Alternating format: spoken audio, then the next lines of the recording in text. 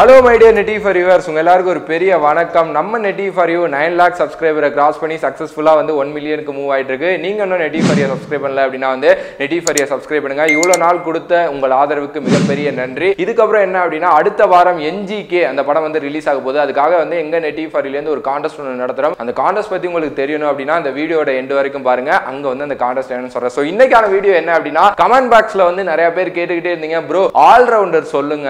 Best allrounders பத்தி சொல்லுங்க அப்படின்னு சொல்லிட்டு சரியா ஏன் நம்ம பெஸ்ட் ஆல்ரவுண்டர்ஸ் பத்தி சொல்லணும். ஒவ்வொரு டீம்லயும் கண்டிப்பா ஒவ்வொரு ஒரு பெஸ்டான ஆல்ரவுண்டர் இருப்பாங்க. அவங்கள பத்தி பேசலாம். அதுவும் ரெண்டு வீடியோவா பேசலாம் அப்படின்னு சொல்லிட்டு முடிவு பண்ணிருக்கோம் இது part one video best allrounder யார் யார் அப்படின்னு சொல்லிட்டு ஃபர்ஸ்ட் நம்ம மொயின் அலி. எஸ் இங்கிலாந்து டீமோட மொயின் அலி தான். லேட்டஸ்டா வந்து ஆர்சிபில வந்து அவரை நம்ம பார்த்திருப்போம். தாடி வச்சுட்டு மொட்டை அடிச்சுட்டு இருப்பாரு. ஸோ மொயின் அலி தான் வந்து இங்கிலாந்து டீம்ல ஒரு பெஸ்ட் ஆல்ரவுண்டர் அப்படின்னு சொல்லலாம். இவரோட கெரியர் எப்படி ஸ்டார்ட் ஆயிருக்கு அப்படின்னா டூ தௌசண்ட் ஃபோர்டீன்லேயே வந்து டெஸ்ட் அப்புறம் ஓடிஐ அதுக்கப்புறம் வந்து டி டுவெண்ட்டி எல்லா ஃபார்மேட்லயும் வந்து டெபியூட் ஆயிட்டாரு. ஸோ வந்து நம்ம ஓடிஐ பத்தி மட்டும் பேசணும் அப்படின்னா ஏன்னா இப்போ நடக்க வேர்ல்டு கப் வந்து ஓடிஐ பத்தி மட்டும் தான் ஸோ நம்ம ஓடிஐ பத்தி மட்டும் பேசலாம். ஒரு ஹண்ட்ரட்ஸ் எத்தனை வாட்டி அடிச்சிருக்காரு அப்படின்னா கிட்டத்தட்ட ஒரு மூணு வாட்டி அடிச்சிருக்காரு ஒரு அஞ்சு வாட்டி வந்து ஃபிஃப்டி பிளஸ் வந்து அடிச்சிருக்காரு ஸோ இது மட்டும் இல்லாமல் இவரோட ஸ்ட்ரைக் ரேட் பத்தி பேசணும் அப்படின்னா ஒன் நாட் த்ரீ வந்து இவரோட ஸ்ட்ரைக் ரேட்டா இருக்கு. ஹையஸ்ட் ஸ்கோர் எவ்வளோ அப்படின்னா ஒன் டுவெண்ட்டி எயிட் இதுதான் வந்து அவரோட பேட்டிங் பர்ஃபார்மன்ஸ் அவரோட பவுலிங் பர்ஃபார்மன்ஸ் பத்தி தான் வந்து ரொம்பவே பேசி ஆகணும். கிட்டத்தட்ட வந்து ஒரு நைன்டி ஃபைவ் மேட்சஸ்ல கிட்டத்தட்ட ஒரு செவன்டி ஃபைவ் விக்கெட்ஸ் எடுத்திருக்கிறாரு. அதுவும் வந்து இந்த டெஸ்ட் கரியர்ல கொஞ்சம் பார்க்கணும் அப்படின்னா வந்து டென் விக்கெட்ஸ் வந்து ஒரு வாட்டி எடுத்திருக்காரு ஃபைவ் விக்கெட்ஸே வந்து ஒரு மூணு வாட்டி வந்து எடுத்திருக்காரு இதுதான் வந்து அவரோட ஒரு பெஸ்ட் இதா இருந்திருக்கு. அவர் இந்த வேர்ல்டு கப்ல இங்கிலாண்டை ரெப்ரசென்ட் பண்ணி விளையாட போறாரு. ஸோ கண்டிப்பா வந்து அவரோட பெஸ்ட்டை கொடுப்பாரு அப்படின்னு தான் நினைக்கணும். ஏன்னா ஆர்சிபில கடைசியில விளையாண்ட மேட்சஸ்ல வந்து நல்லாவே விளையாண்டாரு. ஸோ கண்டிப்பா அவரோட பெஸ்ட்டை வந்து அதுல கொடுப்பாரு அப்படின்னு நினைக்கிறேன். அடுத்தபடியா யாரு அப்படின்னா வந்து முகமது ஹபீஸ். எஸ் பாகிஸ்தான் பிளேயர் நம்ம எல்லாருக்கும் வந்து தெரிஞ்ச பிளேயர் தான். ஏன்னா கிட்டத்தட்ட ரொம்ப வருஷமா கிரிக்கெட் விளையாடக்கூடிய ஒரு player two thousand thousand த்ரீலயே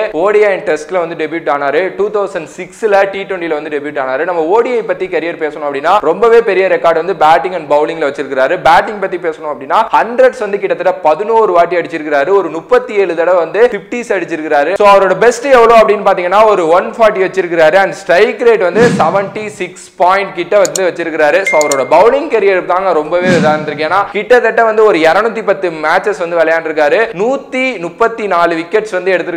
and நூத்தி முப்பத்தி நாலுல இருந்து நூத்தி முப்பத்தி ஏழு விக்கெட்ஸ் கிட்ட வந்து அவர் எடுத்திருக்காரு ஸோ ஒரு நல்ல பவுலிங் கரியர் தான் வந்து அவர் வச்சிருக்காரு இது மட்டும் இல்லாமல் இந்த வேர்ல்டு கப்ல வந்து அவரை செலக்ட் பண்ணியிருக்காங்க. கண்டிப்பா பாகிஸ்தானுக்காகவே ரொம்ப நல்லா விளையாடக்கூடிய ஒரு ஆல்ரவுண்டர் யார் அப்படின்னா முகமது ஹபீஸ் அப்படின்னு சொல்லலாம். ஸோ இவ்வளவு நாள் வந்து அவரோட பர்ஃபார்மன்ஸ் வந்து பாகிஸ்தானை ரொம்பவே தூக்கி நிப்பாட்டி இருக்கு இந்த வேர்ல்டு கப் அவர் கண்டிப்பா அவரோட பெஸ்ட்டை கொடுப்பாரு. மேபி இதுக்கப்புறம் வந்து அவரோட ரிட்டையர்மெண்ட் அறிவிக்கவும் கூட வாய்ப்பு இருக்கு. அதெல்லாம் நம்ம வெயிட் பண்ணி தான் பார்க்கணும். அதுக்கு அடுத்த பிளேயர் யாரு அப்படின்னா ஹார்திக் பாண்டியா. எஸ் நம்ம இந்தியன் டீம் பிளேயர் அவரோட பிளே எப்படி இருந்துச்சு அப்படிங்கறத வந்து நம்ம அந்த ஐபிஎல்லே பார்த்தோம் பட் அவரோட ஓவர்சீஸ் பிளே எல்லாம் எந்த அளவுக்கு இருக்கு அப்படின்னு நம்ம நோட் பண்ணோம் அப்படின்னா இங்கிலாந்து பிச்சில் அவருக்கு கொஞ்சம் தீனியா தான் இருக்கும். ஏன்னா சர்ஃபேஸான பிளாட் உள்ள பிச்சு வந்து சில இதுல வந்து இங்கிலாந்துல இருக்கு. அதுல எல்லாம் இவர் நல்லா விளையாடுவாரு. பவுலிங்கும் சரி பேட்டிங்கும் சரி கண்டிப்பா இவரோட இது நல்லா எடுக்கும். இவர் வந்து two thousand sixteen and seventeen அந்த இதுக்குள்ளேயே வந்து எல்லா ஃபார்மேட்லயும் வந்து டெபியூட் ஆயிட்டாரு. இப்போ இவரோட ஃபர்ஸ்ட் வேர்ல்டு கப்பா வந்து விளையாட போறாரு டூ தௌசண்ட் நைன்டீன் வேர்ல்டு கப்பா கண்டிப்பா ஒரு நல்ல ஒரு ஆல்ரவுண்டர் பர்ஃபார்மன்ஸ் கிடைக்கும் அப்படின்னு தான் நினைக்கிறேன். ஏன்னா விஜய் சங்கரா இவரா அப்படிங்கிற மாதிரி தான் வந்து அந்த ஆல்ரவுண்டர் பர்ஃபார்மன்ஸ்ல வந்து எடுப்பாங்க கண்டிப்பா இவருக்கு தான் வந்து அதிக வாய்ப்பு இருக்கும். என்னதான் Vijay Shankar number four position அப்படின்னு சொல்லியிருந்தாலும் அவர் வந்து ஒரு ஆல்ரவுண்டரா பாக்குற ஒரு இதுதான். ஸோ கடைசி அந்த இதுல தான் எடுப்பாங்க.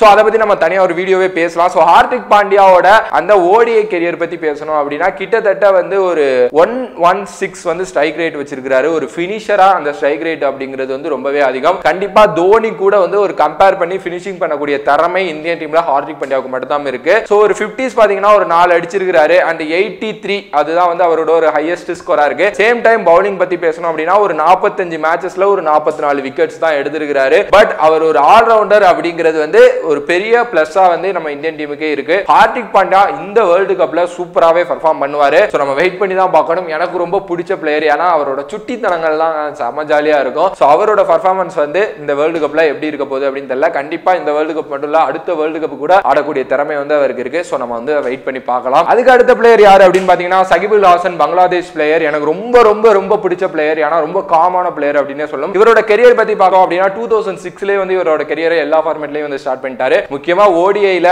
பேட்டிங் பத்தி பேசணும் அப்படின்னா கிட்டத்தட்ட ஒரு ஏழு ஹண்ட்ரட் அடிச்சிருக்காரு ஒரு ஃபார்ட்டி டு பிப்டிஸ் அடிச்சிருக்காரு ஸ்ட்ரைக் ரேட் பாத்தீங்க அப்படின்னா வந்து ஒரு எயிட்டி ஒன் பிளஸ் கிட்ட வச்சிருக்காரு கண்டிப்பா இவரோட பங்கு பங்களாதேஷுக்கு ரொம்பவே அதிகமா இருக்கும். ஏன்னா இவர் வந்து பங்களாதேஷ் டீம் வந்து லீடு வேற பண்ணியிருக்கிறாரு. ஸோ கண்டிப்பா அந்த கேப்டன்சி மைண்டும் வந்து இவருக்கு இருக்கும். ஸோ இது மட்டும் இல்லாம பவுலிங் பத்தி பேசணும் அப்படின்னா வந்து இவரோட எல்லா ஃபார்மேட் பவுலிங்கும் பேசணுங்க. ஏன்னா ஒரு டெஸ்ட்ல பாத்தீங்க அப்படின்னா வந்து ஃபைவ் விக்கெட்ஸே வந்து பதினெட்டு வாட்டி எடுத்திருக்கிறாரு. அண்ட் டென் விக்கெட்ஸ் வந்து டூ டைம்ஸ் எடுத்திருக்கிறாரு. ஓடிஐ அண்ட் டி டுவெண்ட்டில வந்து five wickets one one time எடுத்திருக்கிறாரு. And ஓடிஐல இவரோட ஓவரால் விக்கெட்ஸ் பாத்தீங்க அப்படின்னா டூ ஃபார்ட்டி ஃபைவ் பிளஸ் கிட்ட இருக்கு. ஸோ கண்டிப்பா இது ஒரு ஓடிஐ ஃபார்மேட்டுக்கு ஏத்த பவுலர் அண்ட் பக்கா ஆல்ரவுண்டர் அப்படின்னே சொல்லணும். ஸோ சகிபுல் ஹாசனோட கிரிக்கெட் ஜேர்னி வந்து இந்த வேர்ல்டு கப்போட வந்து முடிஞ்சிரும் அப்படிங்கிறது வந்து நம்ம எல்லாருக்குமே தெரிஞ்ச விஷயம் தான் ஸோ இதோட ஒரு ரிட்டையர்மெண்ட் ஆவாரு. கண்டிப்பா பங்களாதேஷுக்கு ஒரு கப் வாங்கி கொடுக்கலாம் அப்படின்ட்டு ட்ரை பண்ணுவார். ஸோ ரொம்ப நல்ல பிளேயர் பங்களாதேஷ்ல எனக்கு பிடிச்ச பிளேயர் ஸோ அவரோட பேட்டிங் அண்ட் பவுலிங் வந்து இந்த வேர்ல்டு கப்புக்கு எந்த அளவுக்கு எடுக்குது அப்படிங்கறது வந்து நம்ம வெயிட் பண்ணி தான் பார்க்கணும். அதுக்கு அடுத்தபடியா யாரு அப்படின்னா வந்து நம்ம சுட்டி குழந்தை ராஷித் கான். எஸ் ஆப்கானிஸ்தானோட ஒரு மிகப்பெரிய ஆல்ரவுண்டர்னே சொல்லலாம். அவரோட பவுலிங் பர்ஃபார்மன்ஸுக்காக தான் அந்த டீமே வந்து வெயிட் பண்ணிட்டு இருக்காங்க.